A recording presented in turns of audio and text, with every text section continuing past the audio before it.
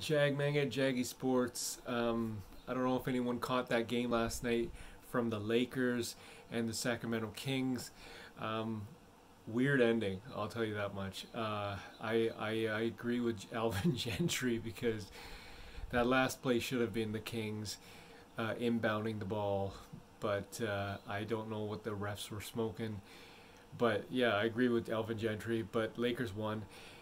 So, uh, Russell Westbrook had no turnovers, zero, and on on the first take today, they uh, had a pretty heated discussion. Is Russell Westbrook the solution to the Lakers' answer, right? Like to the uh, to the Lakers' quest for championship. And I'll let you guys watch this clip and also I'll let you guys know about some any any uh, trade speculation which there is at the end of this clip. If Russell can continue to play this well and also error free, do you think he's going to be part of the Lakers championship solution? He he is going to be the solution. Here's the thing about Russell Westbrook, okay? The thing that we all have to realize. Uh, you know, Swagu, you said this on, on the podcast when a person show you who they are, you have to believe, believe. them. Mm-hmm. Okay, and this is not a this is not a knock on Russell Westbrook but Russell Westbrook is who he is, okay? It's no in between with him. It's almost like a batter coming up to bat. Russell Westbrook is either going to hit a home run or he's going to strike out. It's no getting on first base, second base, or third base, and that's okay. That's who he is. He's going to swing for the for the fences. That's why he lived by the motto, why not? Okay, but here's another thing while we're diving into this. We're not going to sit up here and overreact to the Lakers winning these last three games or last four games or however many Thank games you, for the simple fact that for the simple fact that they haven't beaten no damn body, okay? Yeah. They haven't beaten no damn body. They have had the fifth easiest schedule in the NBA. And you go back and look at their 20 wins, it has been a lot of teams below 500, okay? A lot of them, I said, except for like two of them. So at the end of the day, I know Russell Westbrook has got a lot of criticism, and rightfully so. Russell Westbrook had to agree to this trade. He knew going team up with Anthony Davis and LeBron James that it was to be a lot of pressure. He knew that it was going to be championship or bust. He knew that he had to critique his game. And see, here's the thing about Russ. See, Russ knows what he be doing, okay? After the last game where he had nine turnovers, he went and he did his post-game interview and he said, I'm to continue to play the way I play. I don't worry about turnovers. And then all of a sudden he come out last night and he have zero turnovers. yeah. That means he's a damn lie. He do care about turnovers. So that's how I feel about Russell Westbrook right now, and that's how I feel about the Lakers? With this team currently sitting a game over 500, um, I have long said that I think health is the bigger issue as opposed to the age of this group. Now, do I have them coming out of the Western Conference? No. But I would agree that Russ is a part of the solution because the one thing you can bank on with Russ, whether you love it or hate it, is the amount of energy with which he is going to play the game of basketball. And that means defensively, that means crashing the glass, offensive boards and defensive boards just like fire, you know, fire can do damage or fire can warm your home. It is about figuring out how to best contain this mm. version of Russ alongside LeBron James.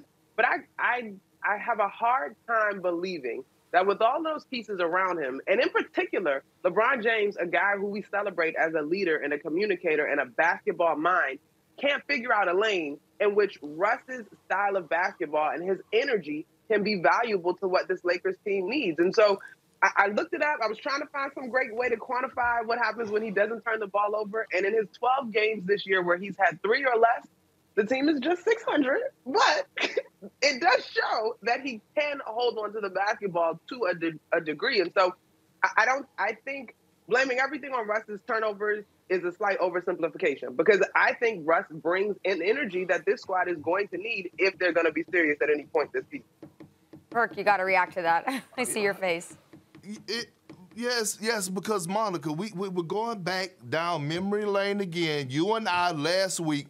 The Lakers' goal is to win a championship, okay? Not to be good, not for Russ just to play hard. But Nobody has ever questioned. no? But Yeah, yeah, but nobody's ever questioned Russ' mentality. No, this is why Kobe Bryant blessed him with the Mamba mentality. Nobody's ever questioned that. But when you're trying to win a championship, it's a level of intelligence that you have to pick up. It's a level of, of, of understanding the game and cutting down on those turnovers that you have to have in order for you to win a championship. Russell Westbrook wasn't just brought to LA Monica on a simple fact to, for them just to be good or just just for them to make a little noise. No, he was brought there. They gave up half of the damn team, including Kyle Kuzma, who, by the way, is balling like crazy down there in Washington.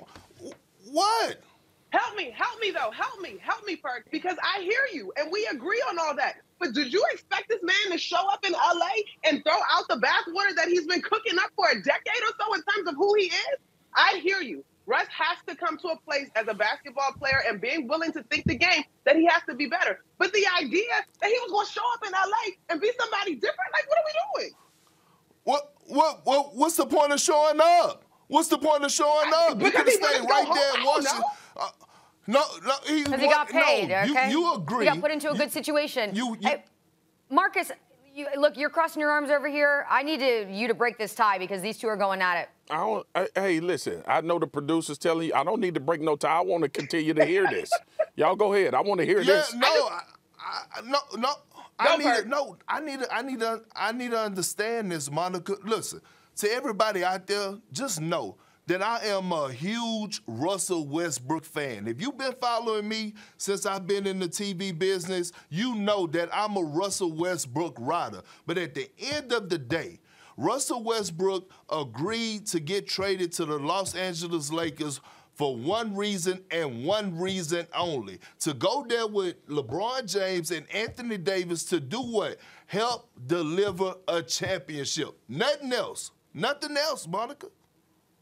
O- okay, now we get to the part where you know how this works, Perk. That was the plan, but even the best laid plans fall apart. And so, yes, if we're having a conversation on whether or not this trade will be viewed as successful or not based on the championship success, I think that's a different conversation. So there you have it. Pretty heated discussion. My opinion, they um, Russell Westbrook is not the solution to this. Just because he had one good game, and you know, he a buddy of mine had to remind me that uh, he generally picks it up after he gets to know his team. And it takes him a while, but he he tends to pick it up. So like in late February, March is when Ru- and April is when Russell Russell Westbrook starts to pick it up, and um, trade speculation is that internally the Lakers are looking to trade him because this is not going according to plan. But um, Russell Westbrook has $44 million, I think, this year, and I think 40, 49 or 47 next year. Pretty hefty price tag. And uh, I'm not sure anyone, any team that wants to take on that uh, that contract. So I know that they're having internal discussions, but Westbrook to get traded, that would be very, very, very hard. Um, I know Talen Horton Tucker is being discussed for sure. Kendrick Nunn as well. Kendrick Nunn makes I think makes five million. I'm not 100 percent sure, and uh, um, uh, Talen Horton Tucker, a THT makes about 10. So that's about 15 million dollars, and you know um, that's just a rumor.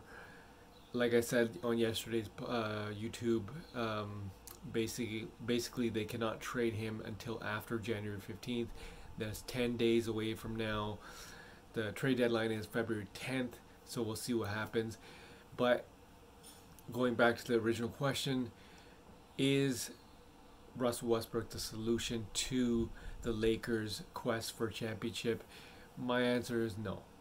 Um, let me know what you guys think on the comments section, and uh, make sure you subscribe to this channel.